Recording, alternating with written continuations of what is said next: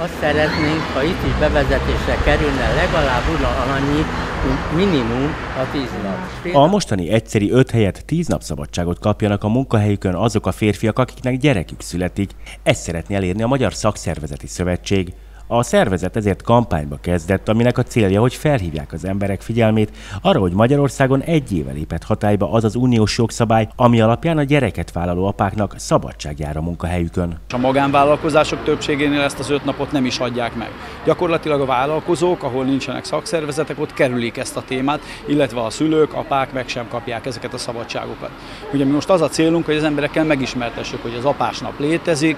Az Apanap nevű országos figyelemfelhívó akciót a Magyar Szakszervezeti Szövetség női tagozata hívta életre. Az elnökük azt mondja, az apáknak járó szabadságot eddig 5 Európai Uniós állam nem vezette be, Magyarországon pedig a Brüsszel által ajánlott legalább 10 nap helyett csak 5 napról rendelkezik a törvény. Azt mondja ki az irányelv, hogy minden megszületett gyerek után az édesapának 10 munkanap, azaz két hét, pontosan így fogalmaz az irányelv, apa szabadság jár. Ez Magyarországon 5 nap. Magyarországnak és a többi uniós államnak 2022-ig kell törvénybe iktatnia a brüsszeli jogszabályt, vagyis hogy a gyereket vállaló apák legalább egyszeri 10 nap szabadságot kapjanak a munkahelyükön.